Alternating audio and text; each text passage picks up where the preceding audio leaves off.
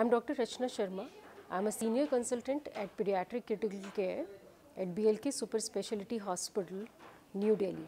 Today I'm going to talk about what ECMO is. I'm sure you people would have heard about a technology called ECMO. ECMO means it is a extracorporeal membrane oxygenator, a equipment which can replace your lungs and heart and give rest to these organs at the same time providing oxygen to the patient.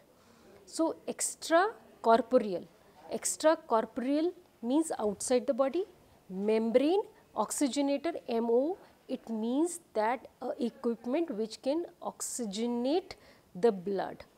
It is almost like a dialysis. What happens is that blood is taken out, it is circulated through this oxygenator, it is the blood is oxygenated and then it is returned to the child.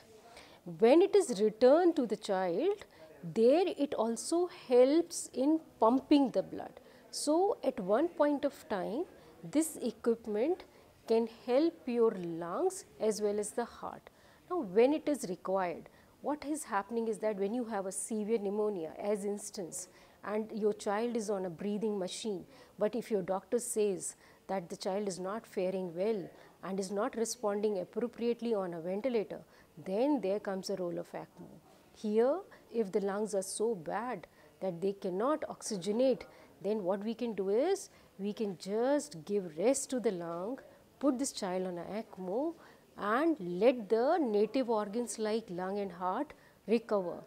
So, it is a life saving techniques which comes when your conservative management with the equipments like ventilator fails. Thank you. To know more, subscribe to our YouTube channel. BLK Super Speciality Hospital, a passion for healing.